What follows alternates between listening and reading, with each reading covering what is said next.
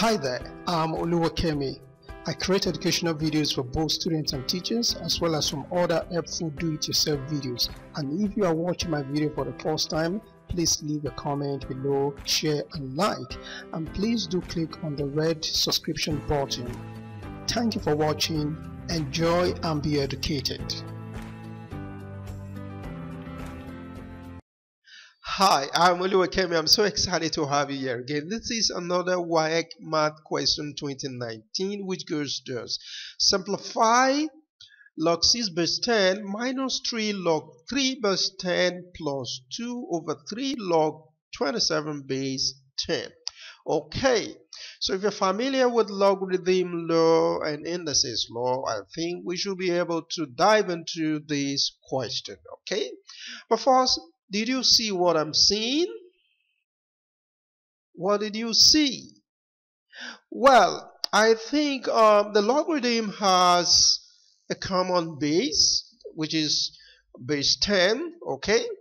So that suggests that we can, as we dive into the question, uh, we can just work on the logarithm straight ahead okay? So when we have a negative um, sign in a logarithm question like this what that means is what? Division okay? So we're going to divide by 3 log 3 and 3 log 3 is converted okay? Let, let me just write it here okay? On the on the side so 3 log 3 is going to be equal to what? 3 raised to power 3. Isn't it? Good. So we're going to have 3 raised to power 3 beneath. Alright, so we'll have our 6 already. Okay. Then for the positive sign, which indicates that these words multiplication. Okay good.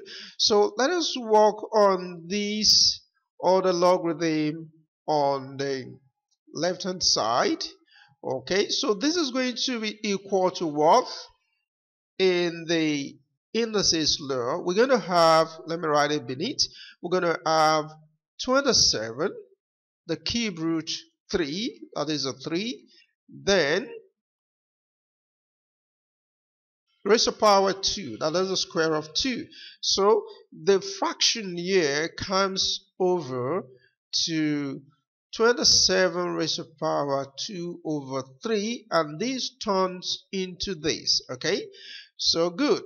So this is what we're going to have now. Let's quickly um, write this out.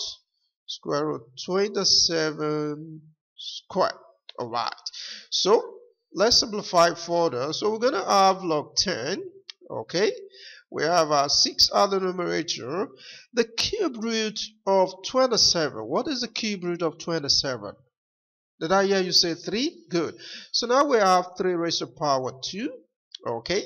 Then we still have uh, 3 raised to power 3 this is the is 3 raised to power 3 not 3 raised to power 2 okay? So this is what we have now Alright, so let's simplify further.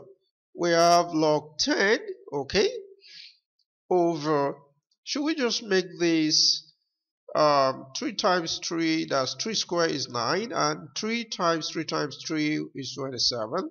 I think we should just leave it at that. So now we can divide. 9 goes in here 1. 9 in 27 is what?